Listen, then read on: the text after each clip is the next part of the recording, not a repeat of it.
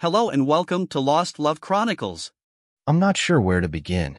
I'm a CSI agent and thought I'd tell you about one of my cases. For those who don't know, CSI stands for Crime Scene Investigations. Our agents are usually the second people on the scene. We're right after the police or sheriff's department finish their initial walkthrough. It's our turn to start taking in the evidence to help in any way we can. We try to prove innocence or guilt on the evidence.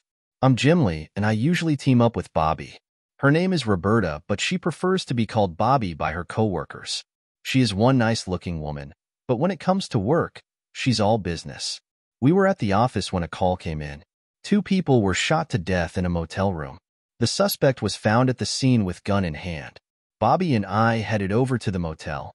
This looked like one of the easier cases. It's not every day the suspect is standing there holding the murder weapon when police arrive. When we got there, we talked to the lead officer. He told us that they got a call of a shooting. When they arrived, they went into the room. The door was unlocked and slightly opened. On the bed was a white woman with a man on top of her. They were having sex, and in fact, he was still in her. He was still lying on top of her, both dead. Two bullet holes, one in his neck and the other in the back of his head. The woman lay beneath him with two bullet holes in her face also. Apparently, there were three shots fired, and the bullet that went through the male victim's neck went clear through him and into her chin area. The officer also told us that the suspected shooter was standing there with the gun in his hand and dropped it when they entered the room. He looked at the officers and said he didn't do it. He wouldn't say anything else. He was in shock or bewildered. Of course, they did their usual cuffing and read him his rights. He refused to talk. As we were talking, another officer was bringing the suspect out of the room in cuffs. I looked up and saw that it was a friend of mine, Mark. His shirt was covered in blood. He saw me and said, Jim, I didn't do it. I didn't do it. My stomach dropped. We went to high school together. I knew his wife Susan was on the wild side, and the last time I saw Mark he told me it looked like he was headed for divorce court if he didn't kill her first. He didn't have to worry about a divorce now. The cards looked pretty stacked against him. Maybe he was crazy and his mind blanked out. I don't know. But the evidence would hopefully tell us the truth. Him at the scene, gun in hand, bloody clothes, his wife in bed with a black man. Boy, how could he deny all that? Maybe he was thinking of going for an insanity defense. Bobby and I started in on our task of gathering information.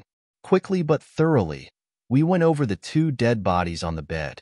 An ambulance was there to take them away as soon as we were finished with them. The man was indeed still inside of Susan, and it looked like he climaxed as he was shot. You always read stories about it, but very rarely ever see it. She wasn't quite so lucky. Her face, what was left of it, showed total horror. The police were right. The first shot went through the man's neck and into her lower face around her chin. It looked like a second shot was fired into the back of the man's head and was still lodged in his skull. A third shot was fired into the forehead of Susan. We finished gathering evidence and went outside to look around. We followed procedure and looked for witnesses and tire tracks and whatever else we could find. While we were inside, we found a camera on the floor at the end of the bed and took it with us also. Mark's car was there, and we had it towed to our garage. We called the jail and told them we wanted all of Mark's clothes to check for residue from the gunfire. Three shots at close range should leave some residue. I got a call from the lead officer who said that Mark kept saying he didn't do it and that I was the only one he would tell his story to. Man, I didn't want to get involved in this mess. All the evidence was pointing at Mark, an old friend. What the hell was I supposed to do? I agreed to listen to his story, I did tell him that his whole testimony would be taped. I was still obligated to do my job correctly. I also told him that I always go by the evidence, and right now it was getting overwhelming against him, but that I still keep an open mind till all the evidence is in. I also told him that if or when it goes to trial that I would have to testify as to the evidence. It would include everything he told me now also. I asked him if he still wanted me to hear his story. He said, Yes, Jim, I trust you to do the right thing and began telling his story. I turned on the recorder and sat back and listened. Mark's story. I didn't know what to do. I caught Susan cheating over and over and was now trying to figure out how to respond. We haven't been getting along for quite a while. We were married five years before the problems began. We had two kids, Mark Jr. and Kayla. As you know, Jim, Susan and I got married fresh out of high school. I started work in one of the local factories, and she works for her dad in an insurance agency. Her dad is wealthy, but not to the rich standpoint. He's well known in our area and pulls a lot of weight. He didn't mind Susan and I dating in high school because I was the popular high school jock, and of course he told everyone that I was dating his daughter. As luck would have it, I broke my leg in the last football game my senior year. Any chance of a scholarship was gone. I wasn't that smart for any academic-type scholarship, so college was out of the question. My parents wanted to try and fund my education, but I told them not to waste their money. I really didn't know what I wanted to do anyway. After graduation and my leg healed, my dad got me on at the factory. It was hard work, but paid well. I did my best since my dad got me the position. He passed on just last year. I really miss him. He was too nice and too young a man to die so early in life. Of course, after Susan's dad found out I wasn't furthering my education, he told Susan that he didn't want her dating me until she turned up pregnant. He was pissed. There wasn't much he could do about it. Susan and I got married before she started showing very much. Her dad wanted her in a white dress. Of course, once the baby was born, everyone figured it out. Either the baby was three months premature, or Susan was pregnant before she got married. Big deal. It happens a lot. We were happy and got a small place and settled down. Of course, Susan's dad and I never got along. I wasn't good enough for his precious little girl. We went on and life seemed good. We had our arguments like all couples, but her parents were always interfering. She said she wanted to work instead of staying home with the kids. She started working for her dad as a secretary for his agency. My mom babysat the kids. Susan hadn't worked for three months before our love life took a hell of a dip. She was always too tired or not feeling well. One morning she was getting dressed and was putting on a somewhat short skirt. She wasn't wearing any underwear. What the hell is going on? Now you don't wear panties? I asked. She didn't look disturbed at all. No, I stopped wearing them six months ago. For some reason, I kept getting a yeast infection about every three months, and when I went to the doctor, she told me to go sans panties. Since I've done that, I haven't had a yeast infection. What about periods and times like that? Of course, I have to wear them then, but I wear a pad and then it's only for a week. What do you think I do? Show my bum to the world. Most of the women I know don't wear panties unless they have to. I didn't know what to think. I always thought most women wore panties. It's not like I check every woman's bum out looking for a panty line. I knew I would from now on. Our sex life didn't improve, and all I could picture was my wife running around showing everyone her bum. I did talk to a couple of women that I was friends with and asked them if they wore panties. They laughed at me until I told them I was serious. Well, Mark, to be honest with you, I both do and don't. When I wear shorts or pants, I usually don't wear them. If I wear a skirt or dress, yes, I definitely do. I know guys are going to try and look up my skirt, and I guess I don't always sit late alike. Carol was probably my best female friend. If I hadn't been married, I know I would have liked to date her. She was always nice and friendly. She was one of the few women I could talk to about my problems. Thanks, Carol. I appreciate your honesty. And yes, I try and look up your skirt too. You have blue panties on today. I laughed. Guys do that. I don't know any that don't. Maybe all guys are pigs, but a girl in a short skirt or dress will always get my attention. So what about Susan? I wonder if she told me the whole truth. I'm always reading these stories about cheating wives. It seems to me that working women are at a greater risk of having an affair. Granted, stay-at-home moms can cheat too, but working women will get hit on daily. They would seem to need to be stronger in their marriages to fight the onslaught of being pursued. If women also went without panties and men noticed, wouldn't they get hit on more often? So I was thinking, if you take a young pretty woman like Susan, and not the greatest marriage. Our marriage was in deep shit. I needed to do something to try and win her back. When she got home from work, I told her my mom would watch the kids and we could go out to dinner. She kind of grumbled, but agreed to go. It didn't go well. All she talked about was herself, her new friends at work, and how much fun they were. This got me to thinking. Here I was working hard my whole life, and I could never describe being at work or the people there as fun. Why would her place of employment be so much different? She didn't wear panties out to dinner either, and we sat at a table. I tried to watch her eyes and noticed her looking around a lot. There were men in booths behind me, and I think they were getting a show. I knew then that we probably couldn't salvage our marriage. I knew deep down that she was screwing around on me for quite a while now. I decided not to even talk to her about it anymore. I had lost my respect for her. Some things you just know. All I needed now was proof. I felt so sorry for our kids. I spent more time with them, and the three of us always did things together. They always ran up to their mom when she came home and told her about their day. She always told them the same lies. Boy, I sure wish I could have been there, but mommy has to work. I wanted to hit her in the face so badly, but I had to think of the kids. It's bad enough they had a mother that was a tramp without having a father in jail. Now, here I am anyway for something I didn't do. Damn it. For the next few weeks, I watched her closely. Whenever she called and said she had to work late, I would have my mom watch the kids and follow her. She was always going out with men from her office. I started taking my camera along and took pictures of her and her friends. She always ended up at motels and I took pictures of them going in. I never got pictures of them having sex, just going into the motel. I'm sure they weren't cleaning rooms. I knew the marriage was over. After the first time seeing her with another man going into a motel, I started planning my divorce. I no longer approached her for sex. Seeing her just made me sick. Every time I looked at her, I pictured her in bed with someone else. It just made my stomach churn. One time I remember telling Susan that if I ever caught her cheating on me, I'd kill both her and the son of a witch she was with. She just yelled back at me that she wasn't afraid of me. She said that marrying me was the biggest mistake of her life. She told me what a lousy lover I was. I asked her, how would you know unless you've bedded down with someone other than me? We were both virgins when we met, so I guess you have been sleeping around. She was nervous now. She was trying to figure out what to say. Finally, she came out with some lame excuse about what she read in some damn magazine and how her friends told her how good their sex lives were. Well, go to hell, you and your magazine. If I find out you have been cheating on me, you're a dead woman. Tell your friends the truth. You would have to screw me once in a while if you're going to compare me. I know this really makes me look bad, First I threaten her, and then her showing up dead with me there. But honest, I didn't do it. Susan told me last week, Mark, I haven't been cheating on you, but I want out of this marriage. You're crazy, and I don't love you anymore. Just take your things and go. I'll tell my dad to get us a lawyer and we'll file irreconcilable differences. You can have your stuff and go. Just stay out of my life. I asked her, what about the kids? You're not taking my kids.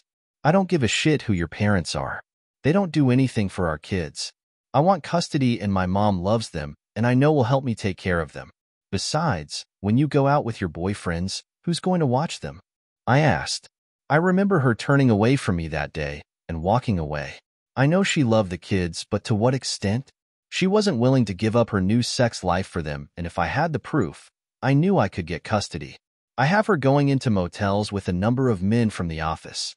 I wanted to get one of her in the act of committing adultery. My lawyer told me that would be all the proof I needed to get my kids. No court would have awarded her the kids or alimony with that kind of evidence. Yesterday, I heard her talking on a phone to a guy when I got home. She didn't know I was there, so I just listened.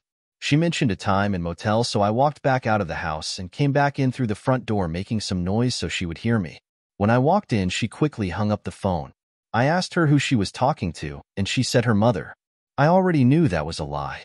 I figured I'd follow her and go to the motel and break into the room and get the pictures I needed. I would take them to my lawyer and apply for my divorce. After Susan left the house dressed like a 304, I took our two little kids to my mom's and asked her to keep them for the night. I figured after I broke into the motel room that there would be a confrontation and one of us wouldn't be coming home tonight. So, I had mom keep the kids out of harm's way. It took time to get the kids ready and pack them an overnight bag. I grabbed my camera and we left. I dropped the kids off at mom's and I probably got to the motel about a half hour later. I really didn't have a good plan. I'm not a weak man, so I figured if there was a fight, I could handle myself okay. I really wasn't thinking that clearly. I can see that now. I located the motel and their room. It was an end room. I was sitting in my car holding my camera when I heard three shots fired. I looked up and saw someone leave the room quickly. I got out of my car with my camera and headed toward the room. I didn't hear any sounds coming from the inside and slowly twisted the door handle and it opened. I pushed the door open and saw a big man lying on top of Susan. He must have been having sex with her. They looked like they were both dead with blood coming out of them onto the bed and floor. I looked down and saw a gun. I don't know why, but I picked it up. I was like in a trance or something, staring at my wife dead on the bed with this big man on top of her. I don't know how long I stood there, but a police officer told me to drop the gun and to lay face down on the floor and put my hands behind my head. I did drop the gun as well as my camera and laid face down in some of their blood. I couldn't speak. No words would come out of my mouth. I finally got out the words. I didn't do it. I was then taken outside and that's when I saw you, Jim. Please help me. There it was. His side of the story. Believable? I didn't know. I told him I would go through the evidence and we would see what happens. I asked him about the person he saw leaving the room. He told me it happened too quickly he didn't see anything but a figure running quickly out of the building. He didn't even know if it was a man or woman. They did have on dark clothing. While I was there at the jail, I did run a test to see if he had discharged a gun lately. It came out negative, but he had taken a shower after he was put in his cell. The residue, if any, could have possibly washed away. When I got back to our lab, Bobby asked me how it went. Do you believe him, Jim? She asked. Bobby, I go by the evidence. It doesn't lie. I hope he told me the truth for his and his kid's sake, but the evidence will have to tell us more. For now, it's not in his favor. Bobby said that the blood on Mark's shirt belonged to both victims. According to the photographs, in the police report he got the blood from lying face down when the officers told him to lie down on the floor. He wasn't anywhere near the victims. Whoever shot them did it from the end of the bed. I told Bobby that I thought the camera belonged to Mark. He said he was taking it in to take pictures of the sex act for adultery purposes. She had already sent them to the lab to get developed. We would probably have the pictures tomorrow. We also had to find out whose gun it was. While Bobby and I were talking, we agreed that the suspect, Mark or someone else, had to know the time and place of the meeting. Bobby did tell me there was no residue on Mark's clothing. She did say he pissed himself, probably when he saw the bodies on the bed. Hmm, maybe there is something here. We doubt he would have pissed his pants and then pulled out a gun so quickly that they didn't even stop screwing. Maybe, just maybe Mark was telling the truth. The next day was a madhouse. The district attorney was already on our backs. He had gotten a call from Susan's dad and said he wanted Mark put to death. We tried to explain to the DA that we had a lot of evidence to go through. He was caught in the room with the murder weapon in his hand. What more do you need? The DA asked. The DA's name was Brett. Brett, we have a few things that don't come together yet. Nothing big, but still unanswered. You could get shot down in court if a good attorney gets this case unless we get the answers, I said. Like what? Brett asked. His finger test doesn't show he fired a gun recently. There was no gunpowder residue on his shirt. His fingerprints on the gun were over top of another set of prints, which we couldn't retrieve. The timeline is bad. Who let him in the room? He walks in the room, pisses his pants, takes a gun and shoots the victims, all the while holding a camera in his other hand. He stands there for what we figure is seven minutes holding the gun till the police arrive. Reasonable doubt, Brett. His attorney just needs reasonable doubt. Give us a few days, and we will see what we can find. Damn, I thought this was an open and shut case, cried Brett. Bobby stared at me. You know, after everything you told Brett, I don't think Mark did it, replied Bobby. If he didn't, I wonder who did. We need to see what is on the camera. Also, we need a list of other people who stayed at the motel the last two nights. Maybe there might have been a witness. By the way, do we have any information on the male victim? I asked Bobby.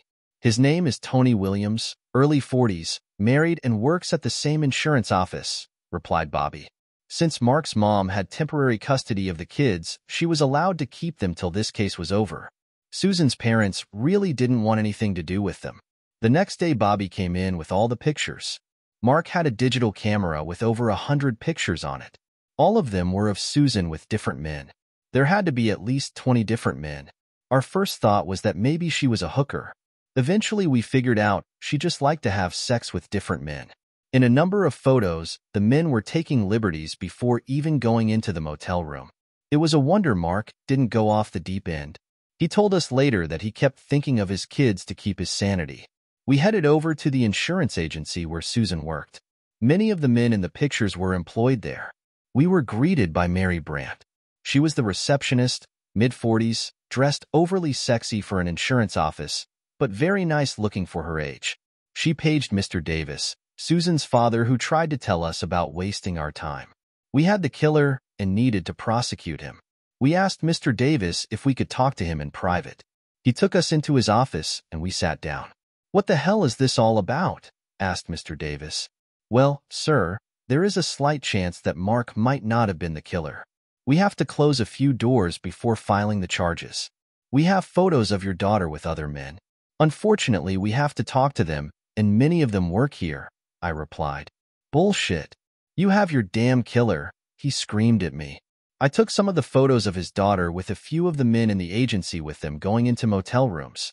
Here, Mr. Davis, I didn't want to bring this up, but we have more pictures of your daughter with other men. I can't believe this was going on in my own business, my own daughter. These son of witches are going to pay. Mr. Davis, we need to talk to these men. What you do afterwards is not our business, but we need to talk with them all now. Mr. Davis called his secretary, and she led us to a room and had 12 different men from the agency come in one at a time and talk with us. They all said about the same thing. Most of these men were either married or divorced. None were single. Makes you wonder how many divorces might come from this one woman's sex addiction. Why are so many men so weak? She started strutting her stuff in front of everyone. Hell, she was a good-looking piece of shit.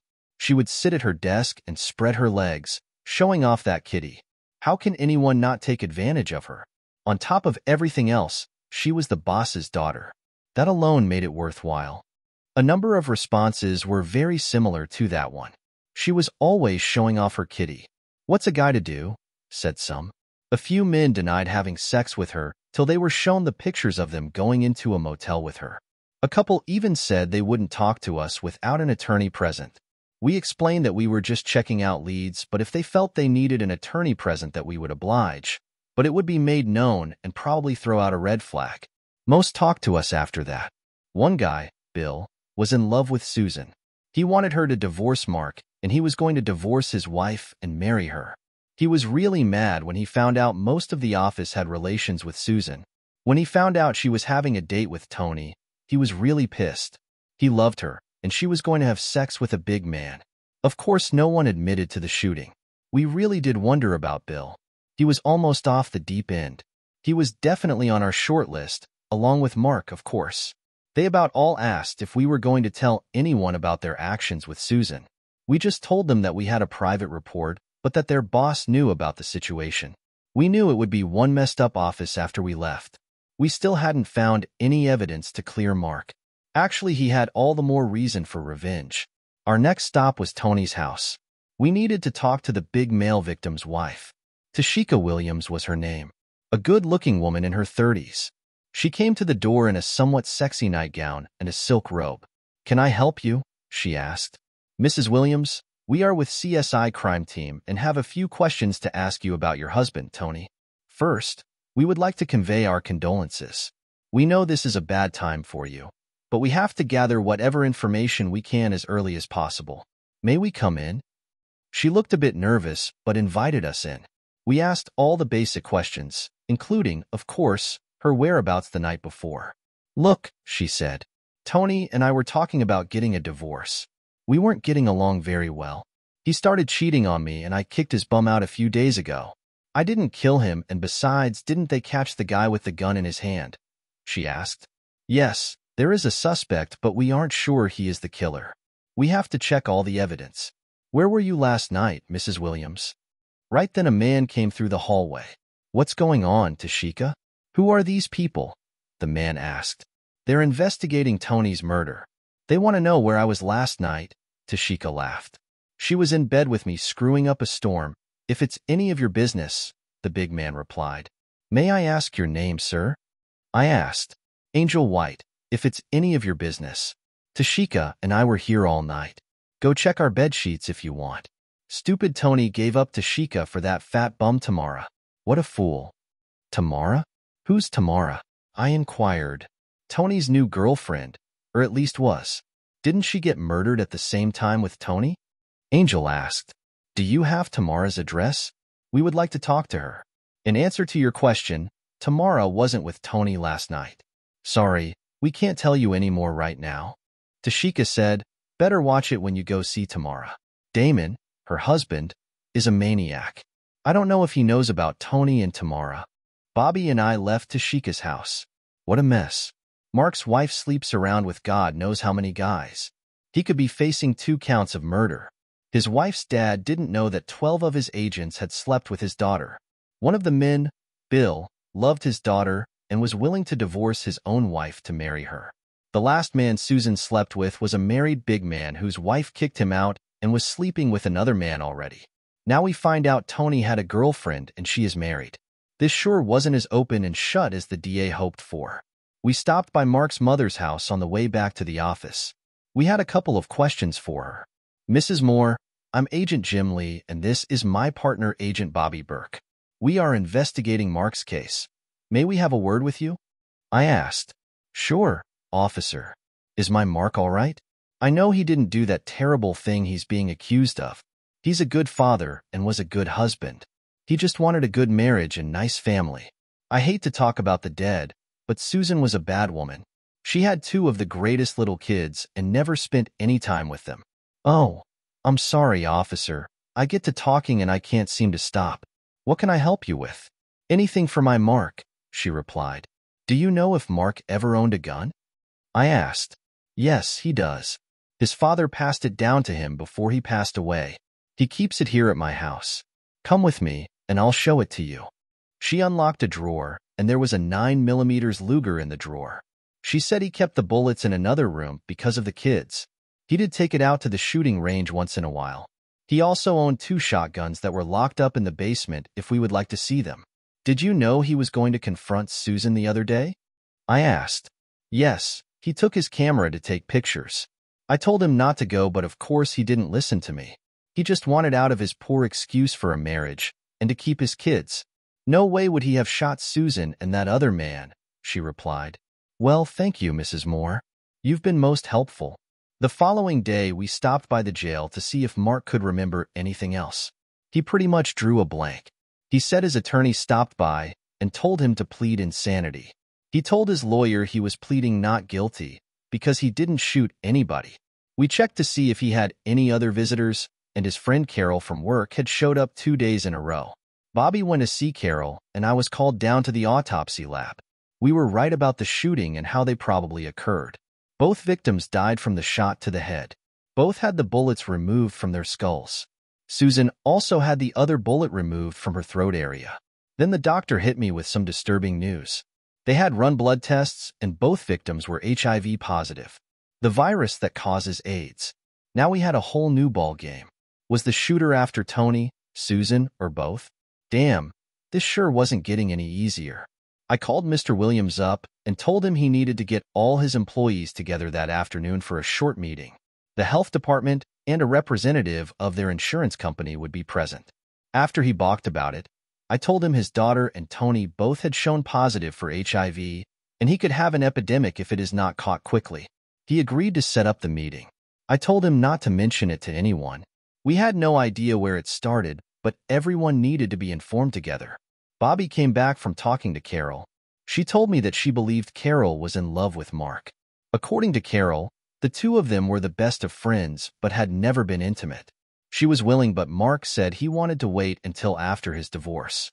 He didn't want to cheat just because Susan did. Bobby also told me that Carol said she was home alone the night of the shooting. I guess that leaves us with another possible suspect. We attended the meeting of the insurance agency. There were approximately 30 employees in all. They were all at the meeting. I was the first to speak. I just told them that an autopsy was done on both Tony and Susan, and both of them were HIV positive. The room went totally quiet. It meant that anyone having sex with either of them might have the virus also. The health inspector took over the talk. He explained that anyone having sex with either person needed to be tested for the virus.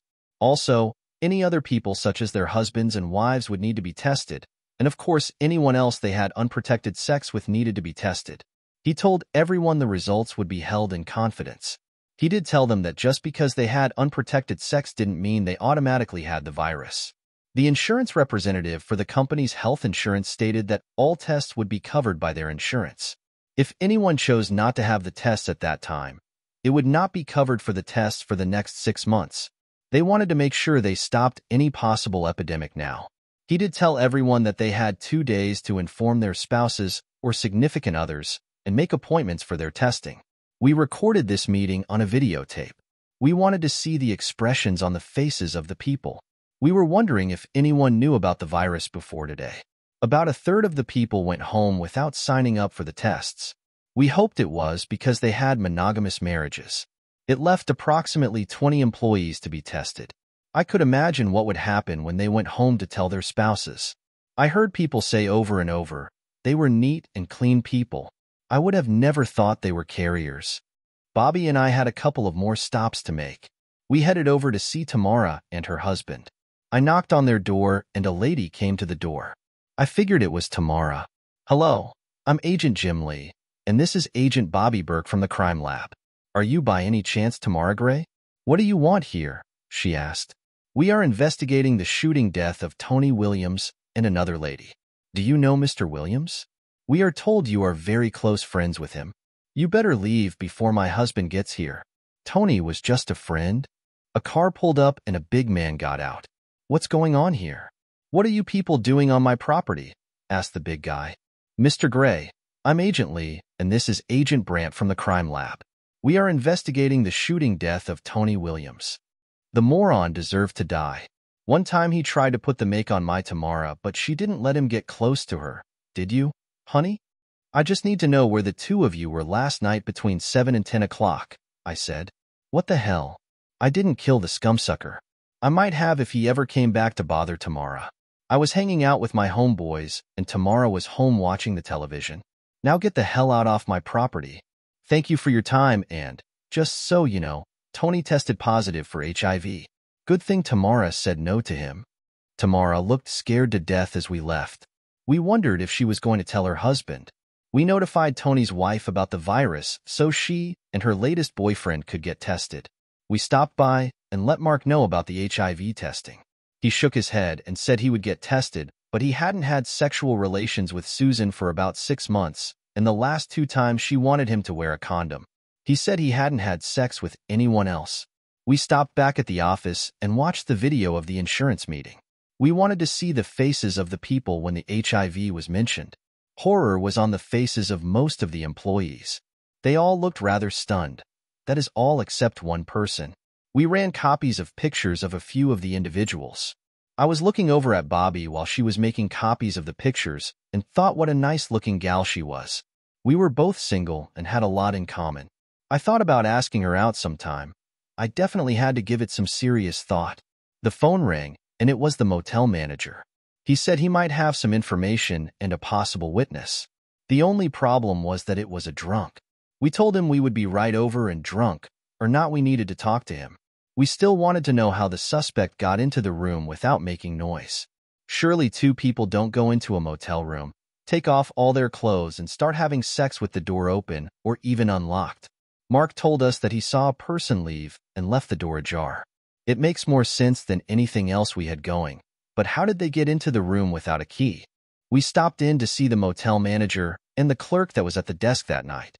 We asked the clerk to explain everything he could remember about that night and to please leave nothing out. The clerk began. A good-looking tall big man came in for his key. A woman reserved the room earlier in the day. He came up to the desk and he paid for the room, so I gave him the key. He said, thank you, and left. So you never saw the woman? I asked. Not then, I didn't, but a few minutes later a woman came in and asked for a second key. She said she would be going out and didn't want to disturb her boyfriend when she came back. She told me the correct room number and the name of her boyfriend, so since he just left the office, I gave her the key. I handed him the photos that Bobby ran off and included two of Susan.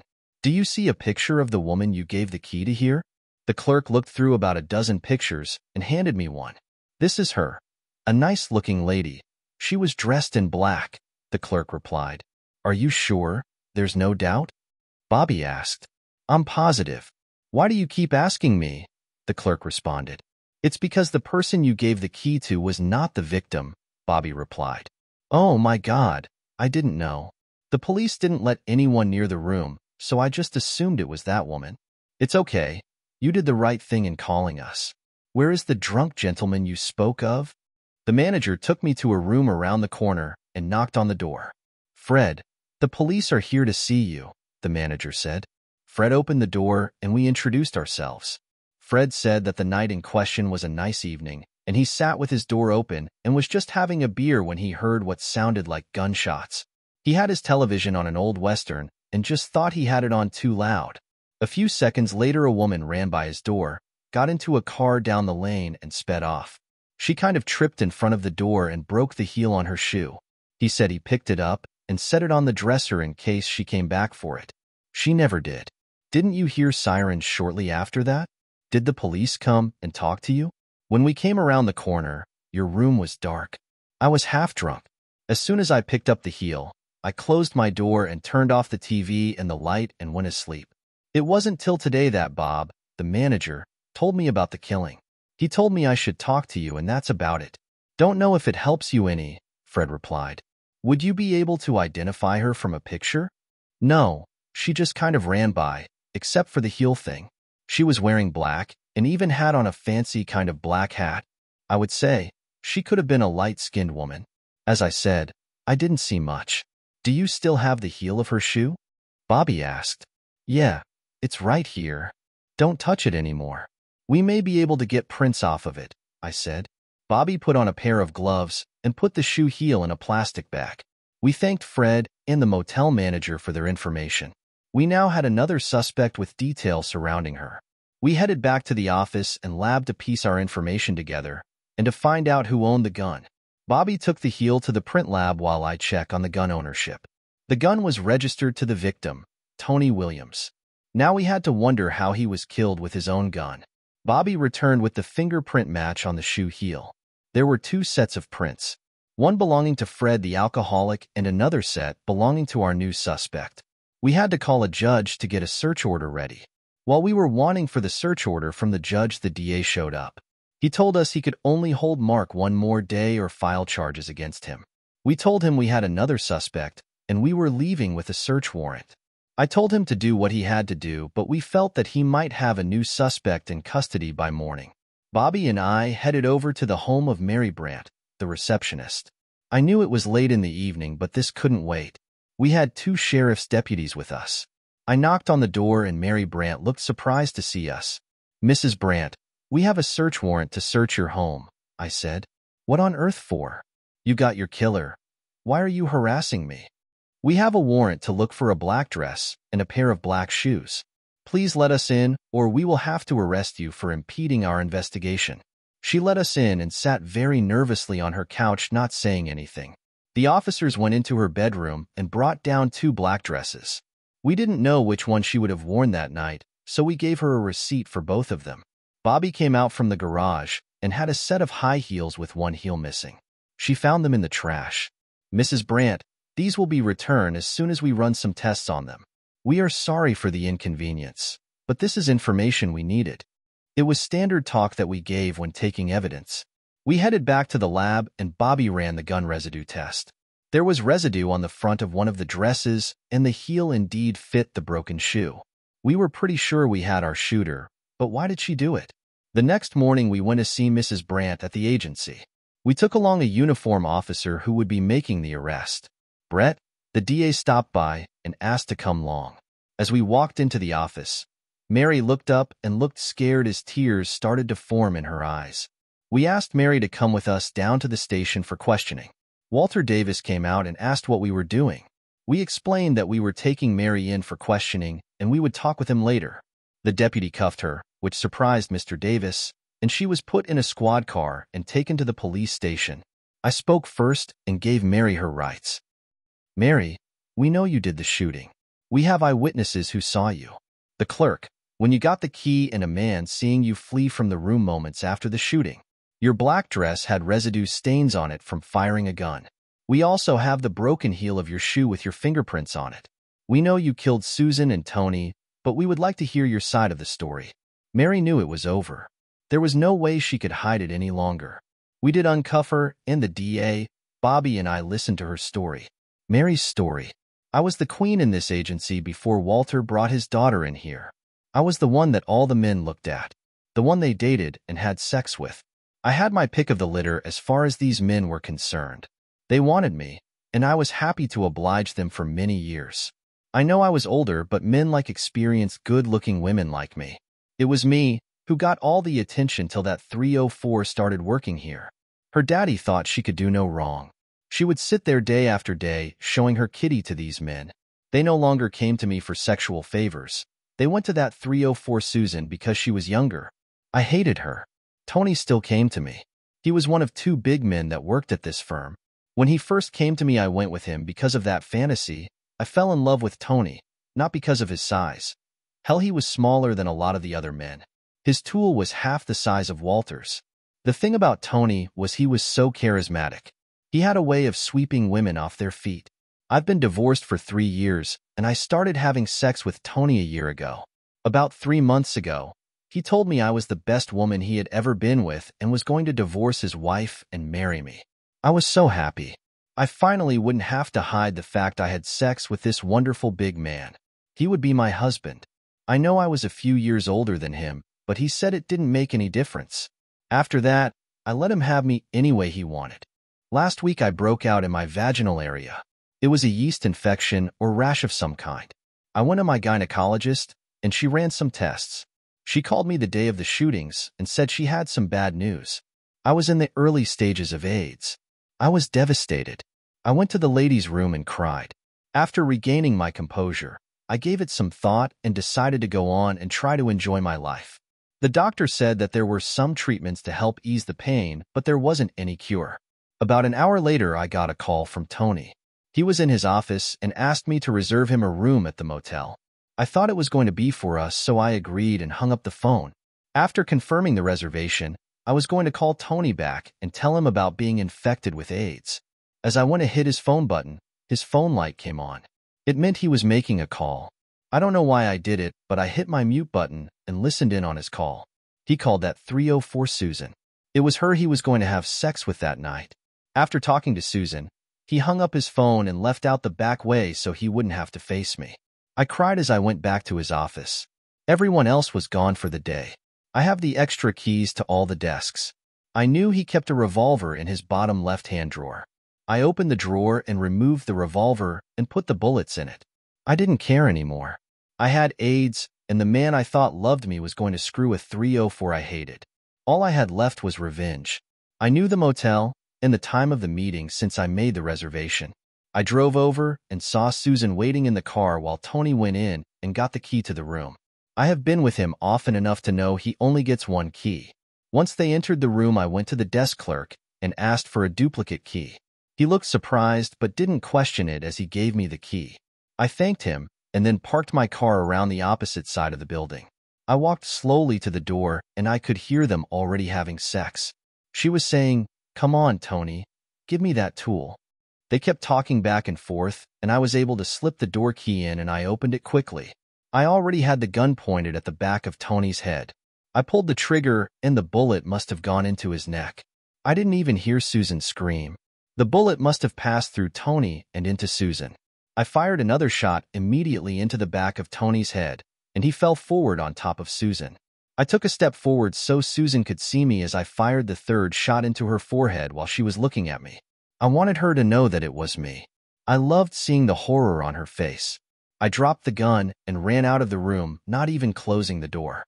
As I turned the corner to go to my car, my heel caught in a grate and broke off. I went home and sat down and fell asleep. I didn't know till the next day that Susan's husband Mark was there, and they pinned the murder on him. I just decided not to come forward. Can I ask you why you suspected me? At the HIV meeting, you were the only person who wasn't surprised to hear the news. We took your picture along with a few others and got lucky. You said you had sex with Walter. Does he know you're infected? I asked. No, I guess he should know now. I think his wife might be a bit surprised. She never much cared for me either. What's funny is that none of these men wore condoms. I couldn't get pregnant, so I liked the feel. They all seemed like clean shirt and tie guys. I guess it's true that you can't judge a book by its cover. Walter and I have been having sex for a good six years. I wonder who gave me AIDS. I guess I'll never know. The DA booked her on two counts of first-degree murder. We were filing our paperwork and closing all the loose ends when Bobby looked at me and smiled. What? Why are you grinning like the cat that caught the mouse? I asked. Bobby replied, I was just thinking how this case could make one good television show for CSI. Nope, never happen. You need some dating or love between the main agents, I responded. We could do that, couldn't we? She asked. Are you saying you will go out with me, Agent Bobby Burke?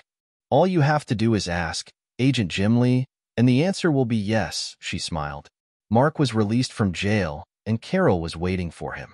It was tough on the kids for a while, but between Mark's mother and Carol, the kids should be okay.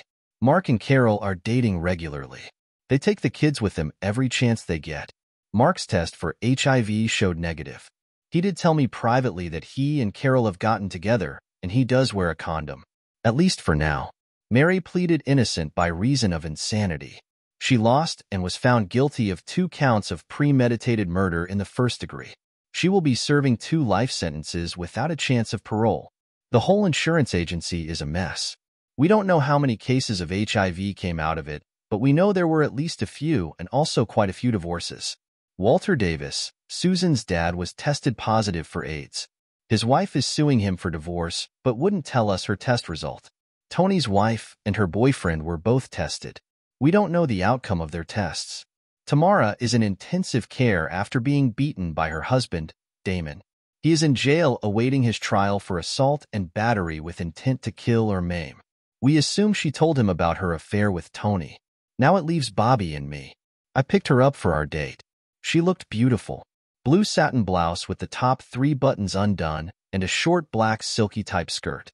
Bobby, you are one beautiful woman. I can't believe you would go out with me. Is this because you're hoping for a shot at TV? I laughed. No, it's because I've had a crush on you ever since we met. I was just waiting for you to ask me out, she answered. I looked down at most of her thigh showing. Jim, stop looking at my legs. I know you're wondering if I have panties on since that crazy case we just had. She was both smiling and laughing. Well, do you? I smiled. I'm not going to tell you. It's your next case to solve, she laughed. Dear listeners, please share your thoughts in the comments section below, and don't forget to like, share, and subscribe.